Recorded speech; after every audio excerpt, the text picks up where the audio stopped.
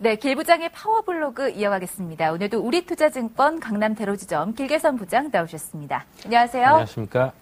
네, 어제 국내 주식시장 얘기부터 좀 해보도록 하겠습니다. 미국이 많이 올라서 사실 오르지 않을까 했는데 단기 급등에 대한 피로감이 조금 더 컸던 것 같아요. 어제 마감 동향 어떻게 보셨어요? 어, 글로벌 증시와의 뭐 굳이 디커플링 할 필요는 없을 정도로 뭐 전체적인 시장이 움직이고 있지 않는가라는 생각들이 많이 있었는데 어, 실제적으로는 그 시장 자체가 특별한 모멘텀이 없기 때문에 커플링과 딥커플링의 어떤 주로의 상관관계가 특별히 의미가 없지 않았나라고 판단이 들고 있고요. 어, 시장을 현재 견인하고 있는 모멘텀은 그 매니팩처링 섹터의 제조업 기반의 지표밖에 없기 때문에 그 지표가 현저하게 지금 오르고 있는 섹터는 미국향 지표이고요.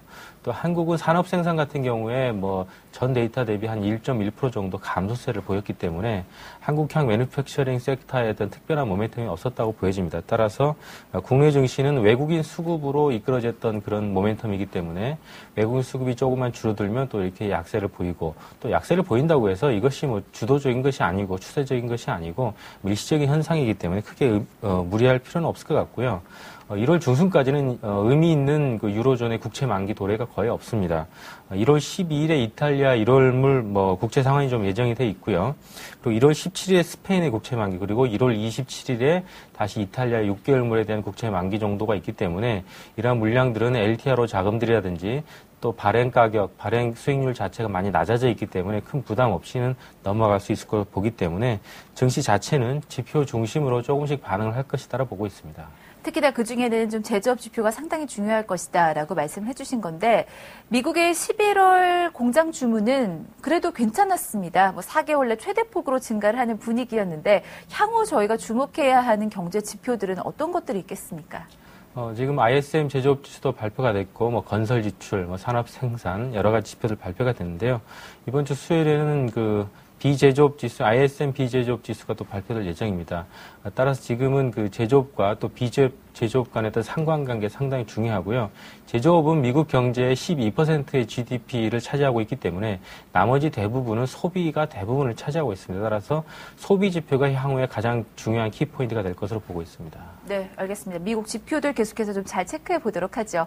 자, 그렇다면 오늘 파워블로그 주제 한번 알아볼까요? 어, 오늘은 오랜만에 commodity 시장의 골드 가격 동향에 대해서 알아보도록 하겠습니다.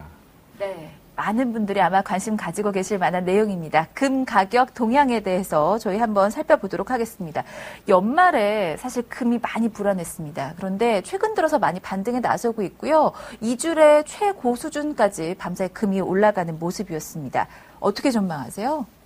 어, 결론부터 얘기 드리면 단기적으로야 조금 흔들렸겠지만 장기적으로의 우상향 추세는 유효하다라고 결론 내드리겠고요. 금은 더 오를 것이다라고 보시는 거네요. 네, 오히려 최근에 하락세를 보였던 것은 오히려 금을 다시 매수할 수 있는 조로의 기회가 어, 기간적으로 주어지는 것이 아닌가 판단합니다.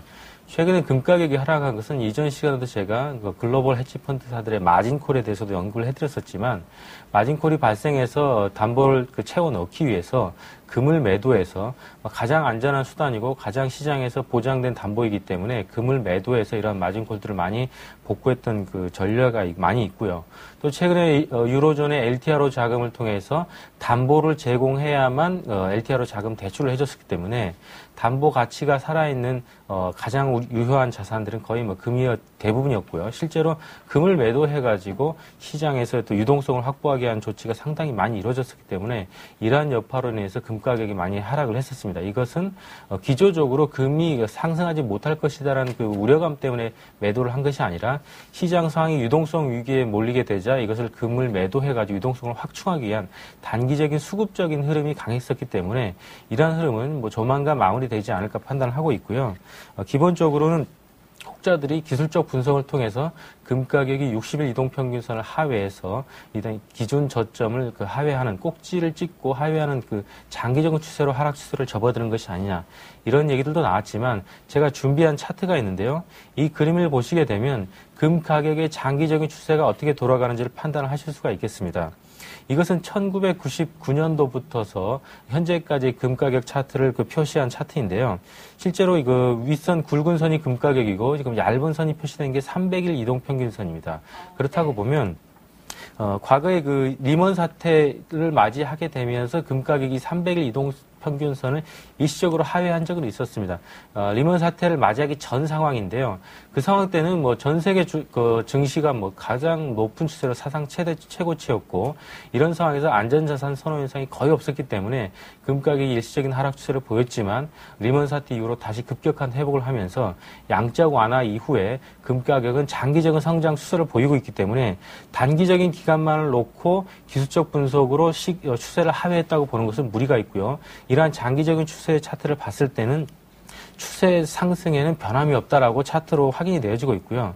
어, 이러한 부분들이 지금 로그 차트를 보여드린 내용들입니다. 실제로 주가가 많이 오르거나 상품 가격이 많이 오르게 되면 만 원일 때의 어떤 10% 상승과 10만 원일 때의 10% 상승은 분명히 차이가 다릅니다. 따라서 그것을 일반적인 기준 주가 차트로 분석을 하시면 분석이 잘 오류가 많이 발생하게 되고 로그 차트 분석을 통해서 비율의 산정 부분을 정확하게 주가에 반영할 수 있는 그리고 상품 가격에 반영할 수 있는 차트 분석을 해보면 어, 골드 차트도 장기적으로 문제가 없다라는 것들이 어, 우상향 추세이다라는 것들이 확인이 되고 있기 때문에 골드 가격은 향후에도 추세적으로 상승할 가능성이 높다고 보여지고 이러한 것들이 아주 단기적인 흐름보다는 네. 장기적인 추세를 가져갈 것이다라는 큰 시각을 가져야 되겠습니다. 그렇다면 지금 고점에서 조금 내려와 있는 현재 시점이 좋은 저가 매수의 기회다라는 관점이신데 개인 투자자분들은 관련해서 어떤 전략들을 세워야 할까요? 직접 금을 사는 게 맞는 것인지 아니면 주식 시장에서 금과 관련된 투자 대안들은 어떤 것들이 있는지가 상당히 궁금하거든요. 어, 골드 투자를 뭐 직접 하기에는 굉장히 무리가 있는 것이 이제 비용 가치 때문에 그런데요. 실물 금을 투자하기는 좀 어려울 것 같고요.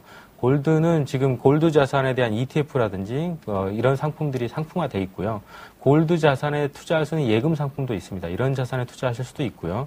어, 반면에 이제 주식 투자에 집중할 것이냐, 뭐 골드 투자에 접, 집중할 것이냐 이런 개념보다는 분산 투자의 개념으로 포트폴리오 관점에서 일부의 주식 투자와 그리고 일부의 골드 투자를 병행하면서 골드는 한꺼번에 왕창 투자하시는 투자 포트폴리오 방법보다는 분산해서 나눠서 투자하는 것이 바람직하다고 생각합니다. 네, 뭐 고려아연 같은 종목들 아마 떠오르실 것 같은데 이 금 관련 종목들에 대한 투자 전략은 어떻게 보십니까? 어, 고려연도 금 가격 동향이 하락하면서 최근 약세를 많이 보였지만 다시금 상승할 수 있는 기조는 보이고 있다고 보이고 있고요. 어, 고려연 자체에 대해서도 아까 얘기 드렸듯이 금의 투자 방식대로 분산 투자해서 분할 매수하는 방법이 가장 적합하지 않을까 판단합니다. 네. 자, 이제 시장 얘기를 좀 여쭤보도록 하죠. 어떻게 보면 상품 가격을 보고 있으면 시장이 그래도 안정을 되찾아가고 있는 게 아닌가라는 생각이 듭니다. 오늘장 같은 경우에는 저희가 어떤 전략을 세워야겠습니까? 어, 금일장의 특별한 케이스라고 보기에는 이제 결국은 대외 변수가 가장 중요한 포인트고 외국인의 수급이 가장 중요한 포인트인데요.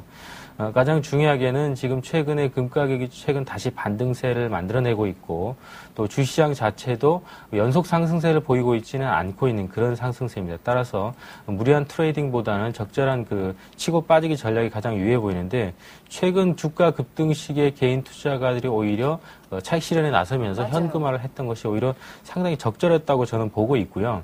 어, 외국인들의 시각 자체가 한번 선물을 뭐 만기약 이상 강하게 매집, 을 한다고 해가지고 바로 급격하게 순매수 강도를 높여왔던 그 사례는 그렇게 많지 않습니다. 오히려 시간과 시간차를 두고 점진적으로 매집을 많이 했었기 때문에 이런 외국인의 기조가 추세적으로 바뀌는지를 좀 점검을 하셔야 될 것 같고요. 어, 기본적으로는 최근 증시 자체가 대형주에서 또 소형주 모멘텀 두 가지 중에서 어떤 것을 가져갈 것인가. 즉, 대형주 투자가 바람직한가, 중소형주 투자가 바람직한가에 대해서 사람들이 많이 이렇게 좀 헷갈리시는 분들이 많으신데, 어, 실제적으로는 대형주나 중소형주에 대한 구분보다는 종목별 대응이 가장 바람직한 대응입니다. 즉, 종목별로 수급이 유지가 되고 있고 어, 기술적 분석 차트 상에서 유의한 모습을 보이고 있으면서도 최근에 어떤 그 외국인의 흐름 그리고 개인 투자가 흐름을 여러 가지 종합해 볼때 어, 두드러지는 거래량 증가의 모습을 보이고 있는 종목들로 대형주와 중성주를 상관하지 않고 적극적으로 접근하는 그런 전략이 바람직하고요. 따라서 종목별로 구분해서 보시는 것이 바람직해 보입니다. 네. 추세가 확인되기 전까지는 수급이 뒷받침되는 종목을 보자라는 내용이었습니다. 오늘도 길게선 부장과 함께했습니다. 수고 많으셨습니다. 고맙습니다.